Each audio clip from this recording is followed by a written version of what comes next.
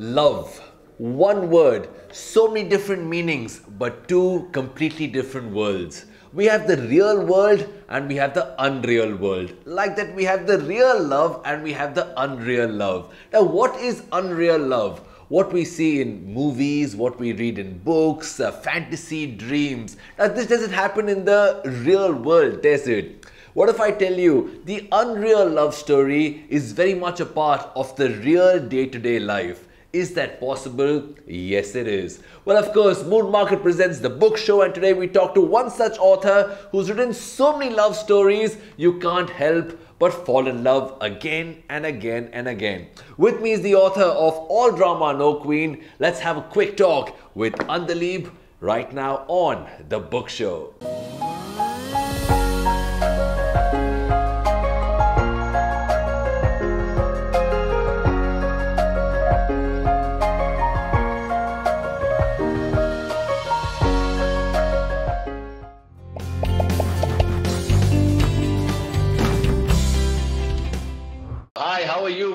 You? Welcome to the book show. Hi, Rajiv. I'm happy to be here. Thank you for having me over. Oh, likewise, likewise. Fantastic. I must tell you that if people can define love, we'll have one way, we'll have two ways. I didn't know that you have 27 different ways, or maybe more. Uh, my counting is a bit weak, but definitely your idea of love is very, very strong, and this one proves it. A lot of drama, a lot of romance, a lot of magic, all this put together. So, so, congratulations, uh, on another wonderful, successful book. Uh, success you. is is a very relative word. What does success of this book actually mean? What is success for you when it comes to a book?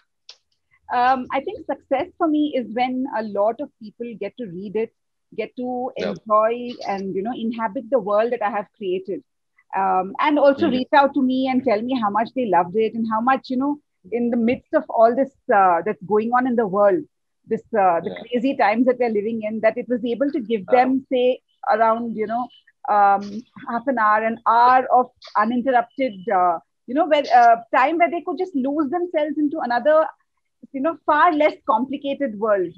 You know in this bouquet of success i i will be a straw. I don't know who says one hour. I took three nights to read this book. Maybe i'm a rather slow reader I, I don't know about the others but i read this book and i must tell you something. There are few books that you you know you take a message. It changes your life.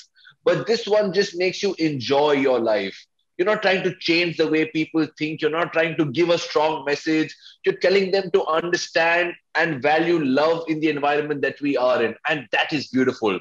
See, I, for me, whenever I started to write a book, it's never it's never been about giving uh, you know i've never had it uh, i've never had a sort of didactic message in mind or you know that i want mm. to give a message to people for me it's always yeah. been about enjoyment of um, a book see i love reading ah. books from the time I was a child, yeah. been reading books. Yeah. For me, One second, uh, you wrote your first book at the age of 10? No, no, no. I wrote a story. Uh, I started writing. You wrote a story? Yeah, okay. Huh. Because I, I was surprised when I like, who is this legend I'm oh, going to no, talk to? No, She's no. actually written a book at the age of 10. I'm like, no way. So I, I started a story. Yeah, I started. Achha, okay, nice. But nice. I got okay. published, uh, my first book got published 11 years ago. Now, first of all, tell me why writing. You know, uh, every author has their own message. Everyone's different. Uh, you choose the pen over different modes of communication. Why did you think of writing from the age of 10 a story? What pulled you there? What's the magic of writing a book, first of all? Uh, I've always been a storyteller uh, more than a writer. And uh, I wouldn't uh. say a storyteller in the current usage of the term, where storytelling is a big profession in itself. I've always, I was always the sort of person where even in school, um, if there was supposing a teacher wasn't coming, we had a free hour, mm. and uh, I would go up in front and I would tell a story to the class.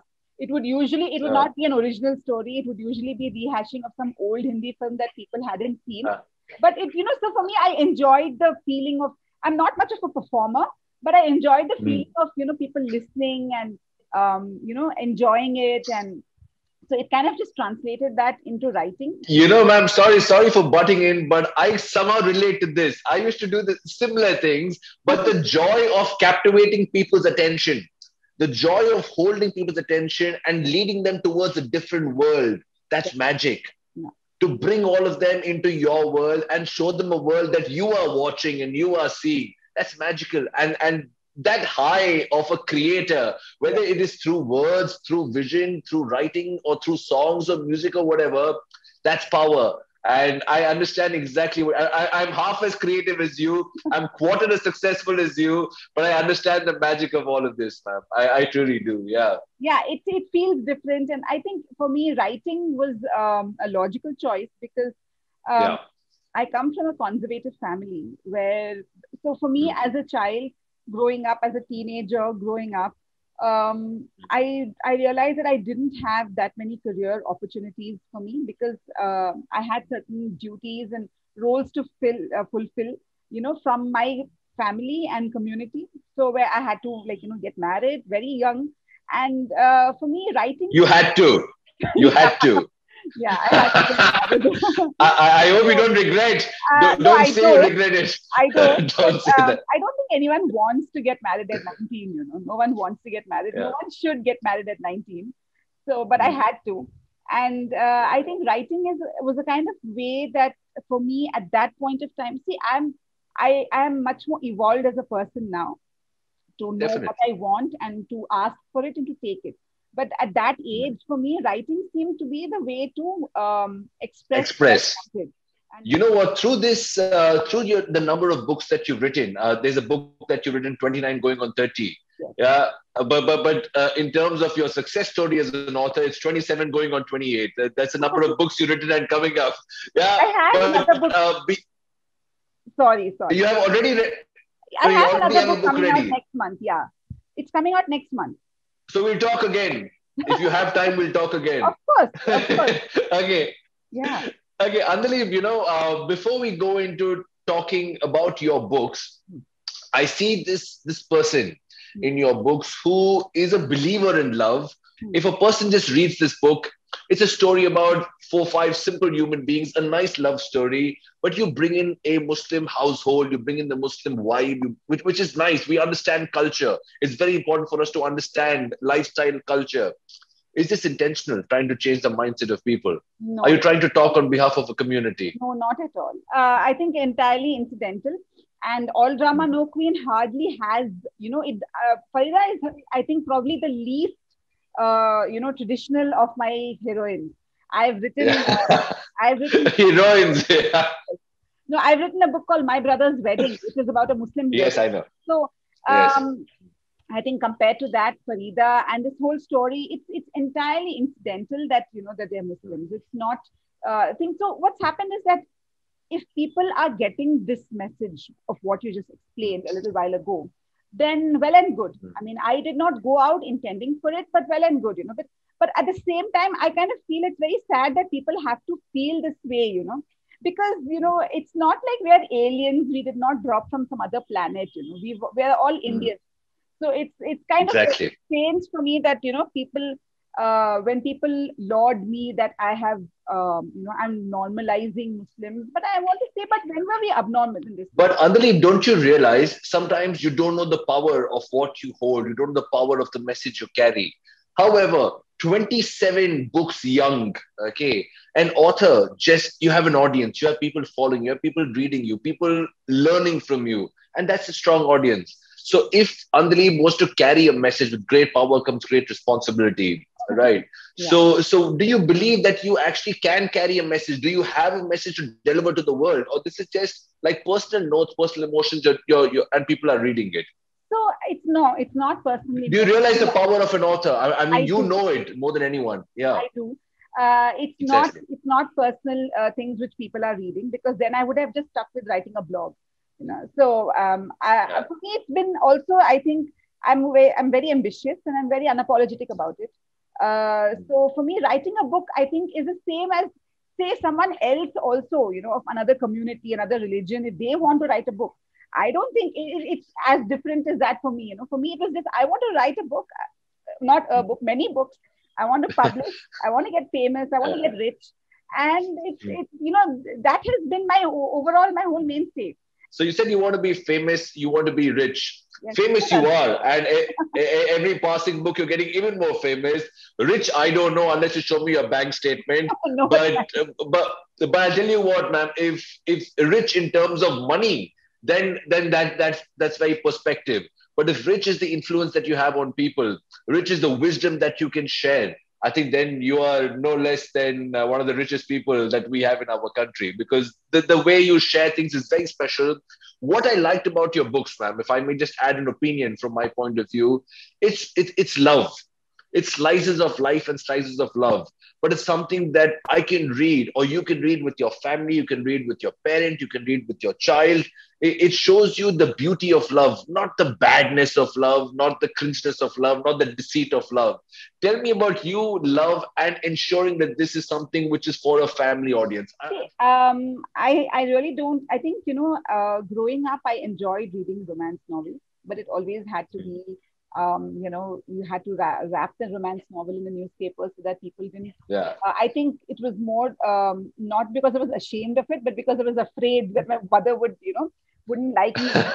How can you read romantic things? That's so wrong. It's like that. So, um, I think for me, it was, you know, more about that. And I think I really want to write what I enjoy reading myself. So that is, that's what led me to write this.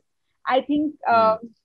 there is there is a lot of unhappiness there's a lot of pain in the world in the real world there is a lot of misunderstanding and people are not as nice or you know are not as understanding as they can be in the world of books so it's i think it's just about trying to create an alternate um, world where you know also uh, just to go back to what you earlier said about you know having sure. responsibility i try to make sure that you know um, I'm not talking about religion, but I'm talking about people in general. And I try to yeah. make sure that my heroines are intelligent, strong willed, you know, extremely, they know their mind. They're not, you know, uh, some uh, girl who's waiting to be saved or rescued. And uh, as, uh, if you see in this book also, you know, uh, Farida doesn't wait for Farida, to yeah. rescue her. And I also want to, you know, write what I want to normalize is, you know, where men are feminists, where, you know, in my books, men being feminists, the whole, you know, the concept of consent, those things. I want to normalize that, where people realize, and also where women learn that they will not settle for less. You know, where if exactly. this happens, if this is possible in a book, why can't it be, you know, with these real characters? Absolutely. Who are not millionaires, who are not models and actresses, I never write about those sort of people because I can't relate to them. So if I write about normal, everyday people falling in love, and these are, you know, faced with the kind of choices that they have, these are the steps that they're taking. I want to make that normal for the world, for the, you know, for the reading public to realize that this is this is fine. You know, this is what we should aspire to in our relationships. So that is what. Uh, I, I, and you say it in such a subtle way, but such a strong way. You know, you, are not screaming, shouting, and emphasizing like a lot of people would have to do. You're saying it in a very subtle way, but the message is so strong. Okay. In today's world, uh, how do you perceive a profession of an author? Is that like a full-time work that's that's uh, you know money making, or is it something passion driven? So, uh, to be very honest, it's uh, it's very difficult to be uh, to make money full time as an author because you know books hardly make you money they don't you don't make much money so i think people have this sort of misconception about writing as a very glamorous job it is the most unglamorous job in the world because you are sitting in your pajamas or whatever and creating all these worlds and when you know when people read it they assume that you might be like the heroine which is which is really the, the furthest thing ever, you know. you have just shattered the reader's dreams. so, so uh, I, you know, um, I can. So I, my next book, the one that's coming out next month, is called Mirror Mirror, and it's about a 17-year-old girl. So you know, mirror, mirror on the wall. Who's the prettiest yeah. of them all? Yeah. Don't. So, uh, is it like that? So okay. It, yeah. it, deals with body shaming. It deals with all that. Oh, okay. So, uh, so you know, it's for me, I'm much older than obviously I'm not 17, but you know, getting into the head of a 17 year old girl. Uh, so those are challenges that I enjoy. Those are part. Those are things that I enjoy as my of my profession as a writer. But writing isn't something that you know gives you um, monetary benefit right away. You, uh, I'm mm. sure that the authors in the US and the UK markets do get paid more.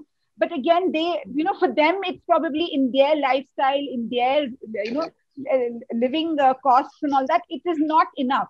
You know, so what we make here, you would probably laugh if I were to tell you how much we make, but it's a reality, you know, it's a reality. And I don't think publishing houses are entirely to blame because, you know, um, even though a lot more people are reading books, there is a lot of competition, you know, for entertainment. People have yes, uh, streaming platforms, they have movies, they have all sorts of things. And the fact that people are still reading is a huge, um, you know, um, it's a huge boost for us. No, I, I, will tell you one thing, ma'am. Being, being someone on the side of books and TV and radio and all of this, uh, you know, people reading, they're not doing the authors a favor, they're doing themselves a favor to read is one of the most creative, the most intelligent, and the most uh, uh, in, in, wise way to invest your time and, and knowledge. So I, I, really think you're doing a great job by continuously bringing out books and uh, the entire team as well. I think every Indian author is doing their own share. Talk about Indian authors and tell me your your favorite Indian authors. So who are your favorite ones and who's the one author you're like, how can be successful? The book is so blah like that. I, that's tough so uh, I, it's not just one author. There are several. You know, so there's Few. of course there's Anuja Chauhan. There is uh, oh, yeah. Um, um, who else?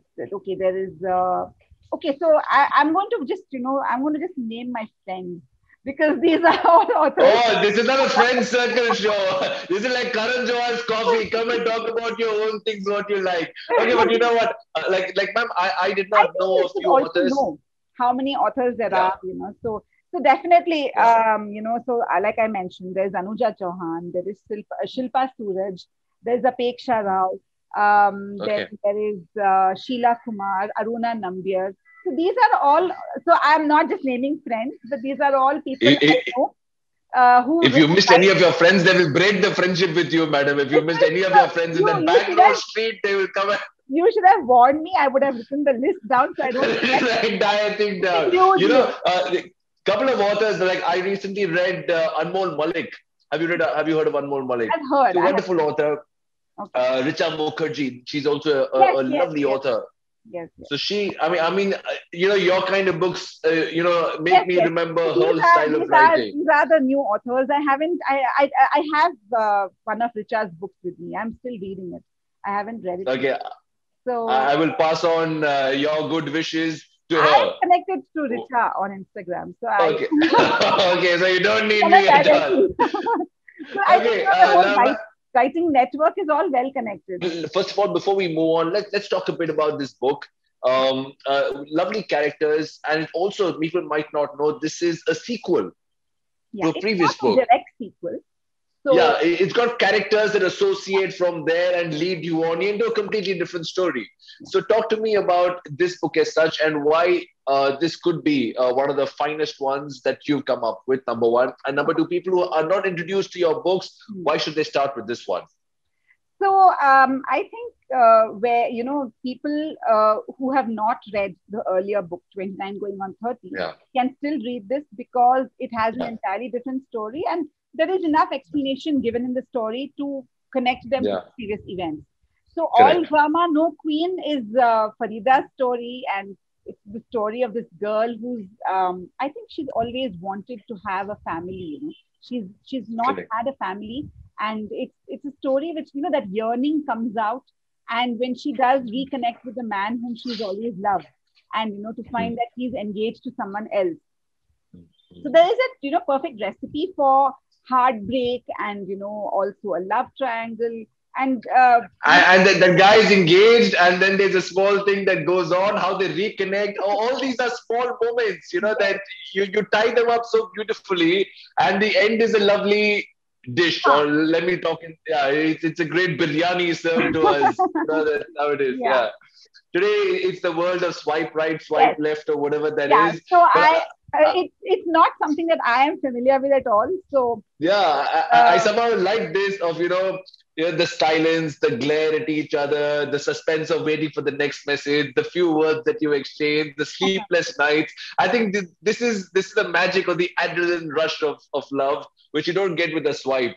You get with time. I wouldn't know, but I don't mind that also. I don't know too. You know, I don't mind that because I mean, uh, to each their own. But ma'am, finally, uh, before we move on, uh, you you've got two young kids at home. Okay, and uh, maybe not young. Uh, I mean, by by some standards, not young. I saw your reaction. They're not that young. Okay, and so how would you define love to your husband, uh, or you know, how how how how does that happen? I mean, he he must be like a normal man day to day, and he's like this ladies all the time. Uh, this lady is all filled with churnings of love. So how do you No, balance that? I, I am, to be honest, I am the most unromantic person in the world. And, you know, I write romance, I create How romance do you for the world. that? How But do you I, that? I'm a very skeptical person myself. So for me, love and romance is when people are there for each other, when you can count on someone to support you. And, you know, these uh, very unsexy ways of showing love is what love is. in people's lives. I agree with you. It's not know, I about know. uh, a big, um, uh, what do you say, you know, a sort of That Uh, diamond ring or that bouquet of yeah, flowers, it's not about those that long letter. Yes. Yeah. So those things don't have any relevance for me. Uh, my kids are Ah. all, you know, like they're grown up. One is 22, one is 14. So for them, it's, you know, it's, uh, it, it's not, it's not like, um, uh, you know, love is, it, it's not something that I really, you know, talk about or anything, you know, they don't even want to talk to me. So, you know, I mean, Yeah. they're boys, they're in their own uh, uh, space. So, And I, I, what do they say about reading your books? When they read your books, what do they say? Do they relate to it? Do they say, No, wow, they how can you put such a thing? uh, no, Uh, they no, don't they- want to they read don't- my books at all. They don't want to. Oh, that's, that's like a dutiful child to No. rebel against the, the, the mother. they don't want to, and I don't from- them. But what's your daily inspiration? Uh, I mean, what churns you out with a story like this, a story like body shaming that's coming out, a story about different aspects? You, you could pick up eve teasing, you could pick up anything, child marriage, uh, uh, you know, no marriage at all, whatever, adoption of kids. You can have any story. Hmm. What, what, what do you, where do you draw inspiration from? So it can be anywhere. It can be literally anywhere. The thing is, being a writer means that you are constantly looking for inspiration, even when you don't, when you're not. Yeah. You know, so uh, you Correct. might be going somewhere, you know, and like I was going in an auto um, once Uh, some years ago, and we were passing by this Uh. area in Bangalore called Tannery Road. And I was just thinking, okay. imagine if I had to live here because it's a slightly down market area. It's not very, you know, it's not a posh area. And, you know, and then I thought, forget me. Imagine if I had to put a girl who's very, um, you know, very conscious of all this. And if I had to if- put her and she lives there. And that became a story called Asmara Summer, where this girl has to live her summer, her summer vacations in this area. And, you know, the her whole life changes in that month. So, you know, so inspiration can come anywhere. I have a book called When She Went Away, which I wrote based on a conversation I heard my mother and my aunt talking when I was a kid about, Oh, okay. Uh, about a woman who left her family and she abandoned them and she ran away with another man. And she left two kids or three kids, I think. And my mother and aunt were talking about how can a mother do this, you know? And that kind of stayed with me. And I wrote this book called When She Went Away about a woman who's left her family, but the story is told from her daughter's point of view. And I've tried to give the mother some sort Wow. of agency there also, where, you know, that uh, people, when they think of mothers, they think of them as this unfailing diva or someone who's, who's, who's capable of no wrong, you know. Uh, but then a mother is also a person with emotions. So I try to do that. So inspiration can come anywhere. And uh, oftentimes, what happens is by the time I've finished writing the book, I don't know what made me start it in the first place. So I don't know why yeah. I wrote a particular book, but it's just because I, you know, But I, you're glad you wrote it, and we're glad you wrote it eventually. Yes. You never know. Maybe just looking at this man uh, in this background, you might just get another story, and you, you, you never know. But thank you very much, uh, Anjali. I must tell you something. When I sat down, I read this book before we conversed. I was I, I had this picture in my mind Hmm. of this lady who's all about love, and and different facets of love. Yeah. Today, when I sit back, I, I tell you, don't judge a book by its cover. Don't judge an author by her story, but Yeah, talk to her, and that's what uh, this is all about. There's so much to you. There's so much of, of insight, depth, and and transparency to what you write and say. Thank you very much, Andali. It was Thank a you. pleasure connecting with you. Thank you. I wish you all the best for your future books, Mirror Mirror, and everything more. And may we continue to speak about this on Chennai Live. Thank you very much. Thank you so much.